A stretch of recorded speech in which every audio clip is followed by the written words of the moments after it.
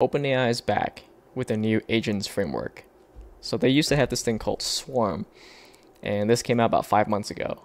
And people absolutely loved it. But the problem was they were not maintaining it. And they just kind of left it on GitHub for people to make their own version of Swarm. That didn't stop people from using it. But now they're back, and there were a bunch of stuff on their press release that, but these are the things that stood out to me. A bunch of stuff that, that is built in. So we have multi-agent orchestration made very easy. So they call this handoff. So when an agent is done, they can pass the context or the results of the tools to the next agent to be able to continue the task. Why do we do this instead of having one agent with a big instructions problem? Well, it's hard to debug and evaluate that. We want to evaluate agents based on its sole responsibility. That's easier to optimize later on in the future. Built-in guardrails, what does that mean? Um, input sanitization and input kind of like, you know, guardrails for like abuse and stuff like that, and output as well. And lifecycle hooks. So this is really interesting. Um, with one line of code, again, you can tap into whatever stage that the agent is running. Maybe it just started. You can tap into that event and do something with it. Maybe the agent is handing off to another agent. Then you can tap into that as well, and then do something there. Maybe like do some transformation. And last but not least, we have some built-in tools, work straight out of the box. So we have uh, web search and we have computer use. Web search seems like it's not using, as far as we can tell, it doesn't seem like it's using anything third-party. It's using this technology that OpenAI has built in-house. What I want to show you today are two examples. One is like the most absolute basic, you know, example to get you started with uh, Agent SDK. This agent has no tools, and the fun part about building agents with this particular framework is that if you use it with, with OpenAI, um, and you you can use this with other um, providers like Gemini and any provider that has an SDK that kind of like can pass through OpenAI's um, SDK before, like Gemini or Grok, then you can use um, the, those providers here as well. But if you use OpenAI, uh, this tracing that is just works out of the box and doesn't cost you any, anything extra. So you don't have to use something like you know Langsmith or Helicone to to trace your stuff. Okay, so here I have literally the most basic agent, and all I had to do was you know pip install um, OpenAI dash agents, and then I set up my OpenAI API key. I actually had some issues with uh, setting up this key because the documentation says that I can just set this up um, as my environment variable and then it will just work out of the box. But turns out it didn't, so I had to do this. And there was like a method that I can import here. It says set default OpenAI API key, and I can just set that. And that works. Um, so I'm just gonna run this real quick. Basic agent. And then all this agent does is um, it has an instruction. It says you are a Sassy code instructor, and then here's how you run the agent. Um, so there are a couple of ways you can run an agent. Um, you can run like this, which is going to be async. Um, yeah, it's, it's going to return uh, an async kind of like result. Uh, or you can just run a sync, which will just give you the result in a synchronous way. So you run this, and then you get the like you know the output here, and the model is GPT-4o. It's pretty straightforward. And this is all you need to like instantiate an, an agent. It's just import agent for, from, uh, from agents. So once we have that, right, uh, what we can do is you can actually, this is the fun part, uh, we can go and see the traces. So uh, if you have an OpenAI API account, which I'm sure you, you should have one to be able to try this, you can go in here um, to the dashboard and then into traces and then what you'll see is you, you'll see traces of your agent shown up on here automatically. So this is the last one that we had.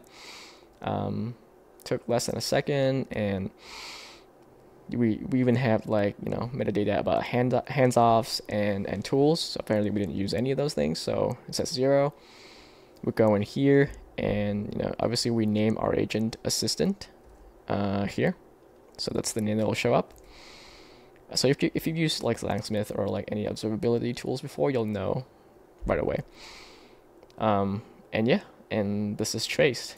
So The only weird thing is usually in like observability tools like that, you have uh, human feedbacks that you can set so that eventually you can like create like a fine tuning data set or a data set to you can go back and do prompt optimization with dspy or something like that. And those these error these thumbs ups and down usually are for for those purposes. But here it's just for OpenAI to to give feedback to OpenAI. So that's kind of useless. Um, but yeah, so we can see some stats here for the traces. Again, it works right out of the box. I, I didn't have to set up anything. Okay, so the second example is a more realistic representation of what an agent would look like in like a real product. So this agent should have some tools. So in our example, it's going to have two tools, web search, but not the one that is built in from OpenAI. I'm using Tavily, which is a service that I that I use in my actual product that I am a fan of.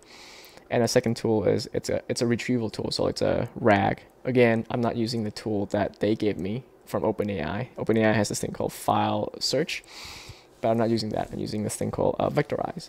So it's a really fast way to like bootstrap up uh, a vector database and like retrieval in like less than two minutes. It's amazing, and it has built-in web scraping too. So those are the two tools that I has, and then it has a more complex instructions of like when to use tools, and then it has carry over context. So like every step in the agent run, uh, there's gonna be like this thing called context. So if you're coming from like LangGraph, that's kind of like state. Um, it'll be carry over from like oh the agent just call a tool, the tool has results, maybe you can save that in the context and use that in the next tool or something like that, or pap it back to the LLM. Okay, so let me show you what this looks like and how it works. So I'm gonna go UV run agent with, okay, I'll run that.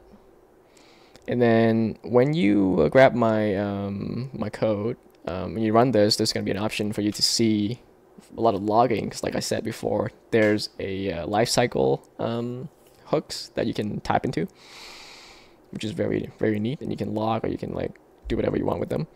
So I'm just gonna say like uh, yes here, and then all this program does is basically takes a question from me, and I have a knowledge base about um, a bunch of like articles about founders and startups, like about like Steve Jobs and founder of Reddit and stuff like that, and I can ask questions about that. And if the question brings in articles that didn't make sense, then the agent will have to go online search for stuff using uh, the search tool Tavily.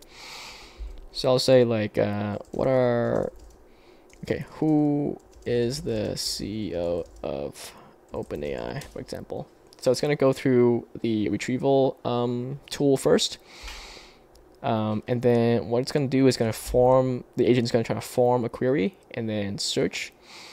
And then apparently, because it couldn't find anything, that's why it switches from the search founder articles tool to Tavily search tool, which is a web search tool.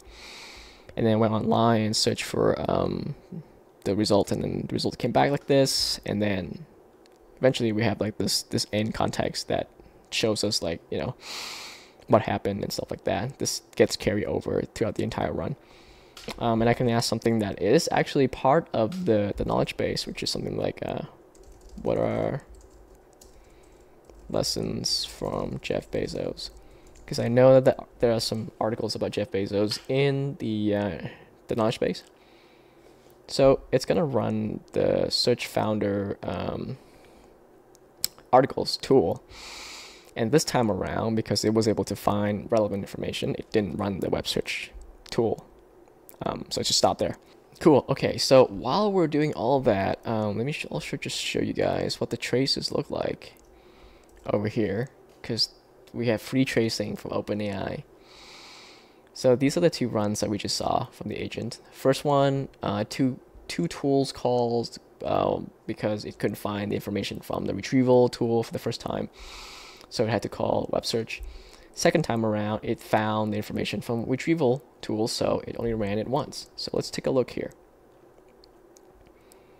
And as you can see, everything looks pretty pristine in this tool, its tracing platform um, built by OpenAI. And you can see like, you know, you got the inputs, so the system instructions here, everything's formatted pretty nicely, and then we got like the um, what do we call it, the um, message history, so from like user who's the CEO of Open OpenAI, and then first it's gonna it called the uh, search founder articles tool, and let me just show you the code actually.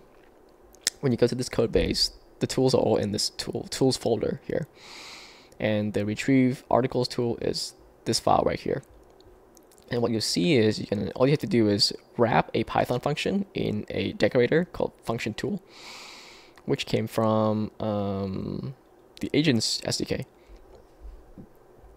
And then this function right here, all of its parameters is now available for the model to see, and then it'll know, okay, so for the query, it's supposed to be string. I should probably pass the user's query in here, or like a in reformed query in here um, and then the number of results, and then whether or not I use re-ranking. This is just part of like the how the retrieval endpoint works. So these are all the parameters that I can use. And the model was able to pass in a couple things here, and then um, finally got back um, some pretty bad results. So it actually let me just go show you here. These are the articles or the documents or the chunks that came back from the retrieval tool. So it looked at all this stuff and it was like, okay, none of this is like useful. Let me call another tool. So I called Tavily search.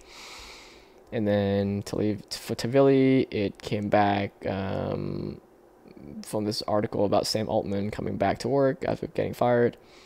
So it was like, okay, now I guess this tool solved the problem. And finally, it has. So this is a OpenAI GPT 4o call.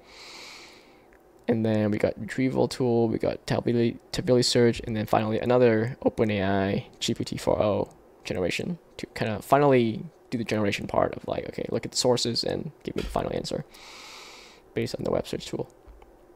So it sees the output of this tool the search articles tool and then it also sees the Tavily search tool and then give me an answer like this. Um, even formatted with like the source and everything too, which is interesting. But yeah, so traces tracing works right out of the box. So let me just dive right in here and then show you what any of this stuff means. Um, so this is the retrieval tool that hits my knowledge base, which is a vector database, and through the service called Vectorize. Um, everything is encapsulated in um, this tool right here. And then the Tavily tool, which is a web search tool, um, basically you know set up Tavily SDK. It's very simple. And then um, we got the uh, function that actually calls Tavily. And then we have a tool that kind of like encapsulates it a little bit and then uh, yeah that's pretty much pretty much it. You can just put this on top of any python function and it'll just work. Okay so that's all those are all the tools. Let's go to the actual agent. And then we just take a look at this real quick. And even for the agent like everything is pretty uh, pretty short pretty straightforward. Um, here I'm just setting up logging so that I can tap into like the different lifecycle points. Um, you can take a look at this part if you want. And then again, to create an agent, just you know import this agent thing from the agents SDK, and then you pass in this agent context, which could be anything from like a Pydantic class or like a data class. So let me show you that. This one's a data class, so all I'm doing here is I'm doing, um, okay, so I got like this property here, called recent searches, I got recent documents, last tools used. You can basically keep whatever you want here. You can keep like, uh, how many times this agent had run or something like that. And then as long as you like keep updating that value, then it'll be carried over and saved either in the database or your um, in memory. Yeah, so like again, very similar to like LangGraph state. Um, so that's how it works. And I'm gonna go down here. This is the function that kind of like create an infinite loop so that we can just keep trying this tool over and over or this agent. Um, so I got my, my logger here. I can turn it off and on. Um, I got my, my agent. So this is how you run an agent. Again, this is how you run an agent in async. Um, so it'll give you an async kind of like uh, promise result uh, finally. And if you don't want to do that, if you don't want like, you know, a promise, you can just do run sync. And then that's pretty much it. Everything else is just like displaying things nicely in the um, in the terminal. So yeah, that's um, that's the AI Agents SDK. Um, it was uh, it was pretty easy to set up. Um,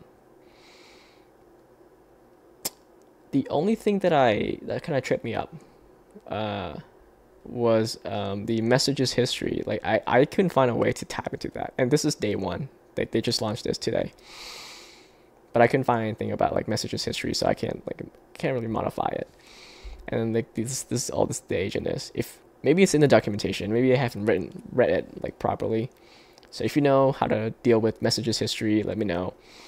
Um, but yeah, so um, AI agents SDK from OpenAI, give it a shot. Um, I'll probably put out some more video videos about like the more in-depth stuff of like setting up this this SDK, this framework to to build more complicated things. So uh, watch out for those videos, like and subscribe, and uh, those videos will be up in a couple of days. So stay tuned for that. Thanks for watching.